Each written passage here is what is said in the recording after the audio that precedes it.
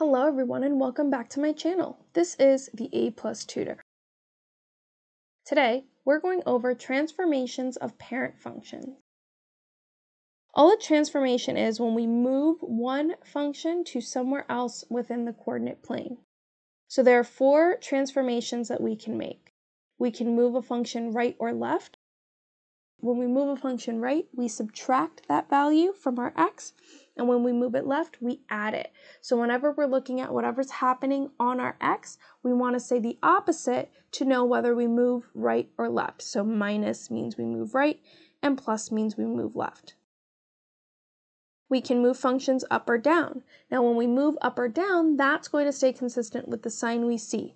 So when we add some value to our function, we move that function up, and when we subtract, we move it down we can reflect our functions. So we can reflect these over the y-axis or over the x-axis.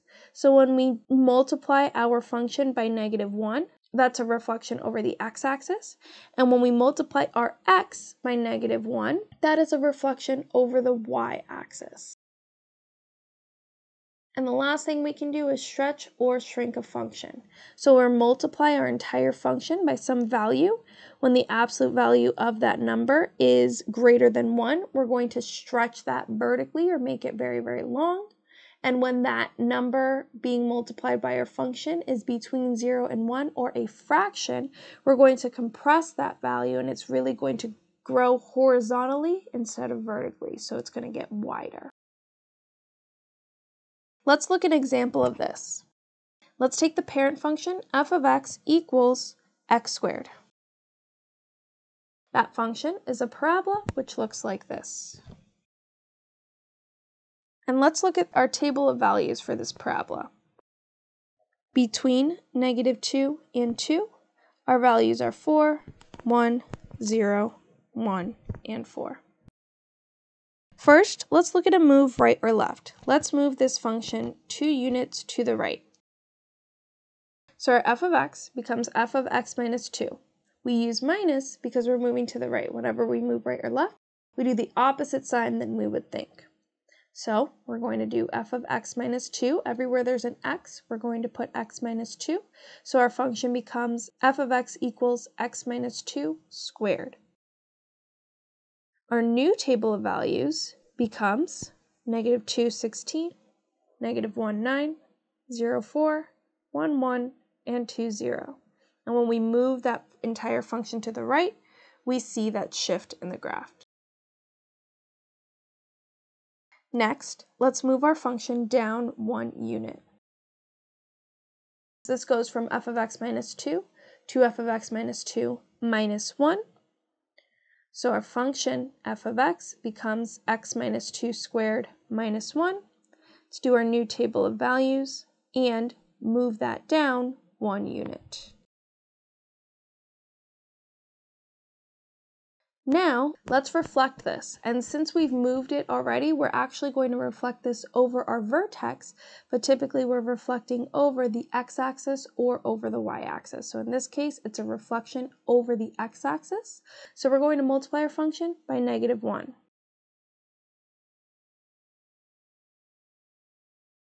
This becomes negative x minus 2 squared minus 1.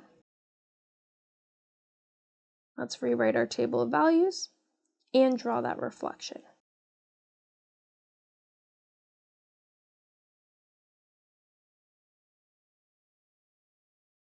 Last, let's stretch this function by a factor of 2. So we're going to multiply our entire function by 2.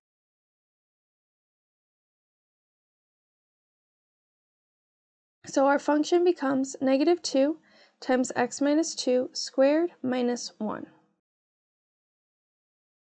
So when we stretch that, we have our new table of values, and our function is stretched vertically.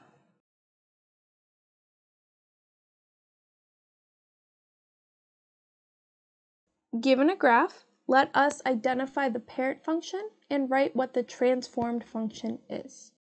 We have this function, which is our upside down v. That v shape is our absolute value function. So the parent function is f of x equals the absolute value of x. This function is moved 2 units to the left, so we go from f of x to f of x plus 2. When we move left, we add 2. And then it's reflected over the x-axis. So it goes from f of x to negative f of x, or negative f of x plus 2 equals negative absolute value of x plus 2. This means our function is negative the absolute value of x plus 2. Next, we have this kind of S-looking function. Our parent function is f of x equals x to the third. This looks just like our x to the third function, except it is moved down one unit.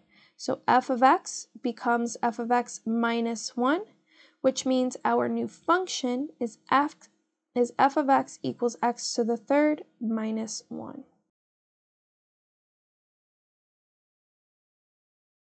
Next, we have a function with two asymptotes and it is an odd function, which means this is our reciprocal, this is one of our rational functions, and the parent function is f of x equals 1 over x.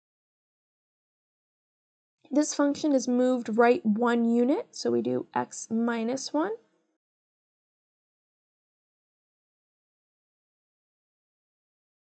And then moved up two units, so then we add two on the outside.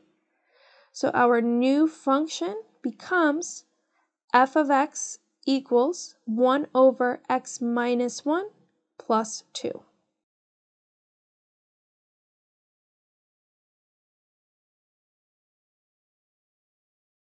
Last, we have this shape. Our parent function is our cubic function, or f of x equals the cube root of x. This function was moved right one unit, so we did f of x minus 1. So we took f of x minus 1, because when we move right, we subtract.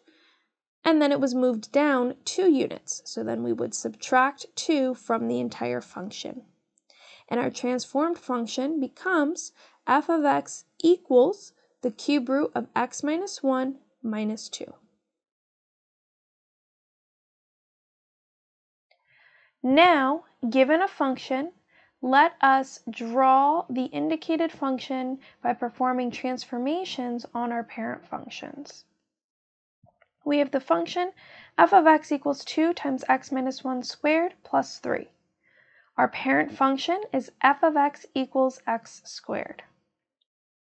The minus 1 tied to our x means we're going to move it right one unit, move our parent function right one unit. Plus 3 on the end means we move our parent function up 3 units. And then the 2 in front means we stretch our function vertically by a factor of 2.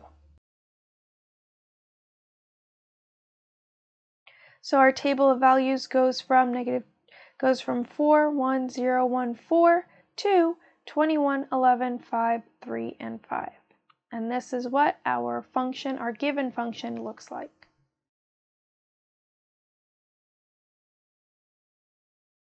Next, we have f of x equals the square root of x plus 1 minus 2.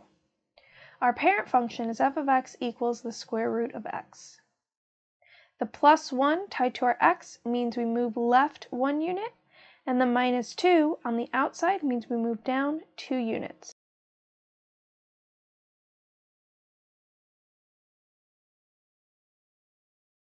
So we take our parent function, move left 1, down 2, and this is our given function. Next, we have f of x equals negative cube root of x minus 2. Our parent function is the cube root of x minus 2 tied to our x means we move right 2 units. And that negative on the outside means we are going to reflect this over the x-axis. So by performing these transformations, this is what our transformed function will look like.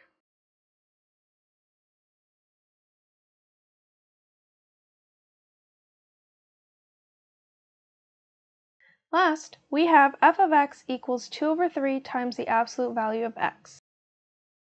Our parent function is the absolute value of x. That 2 thirds in front means we're going to shrink our parent function by a factor of 2 over 3. Because it is between 0 and 1, it's going to shrink our function. Let's compare our table of values, and this is what our transformed function looks like.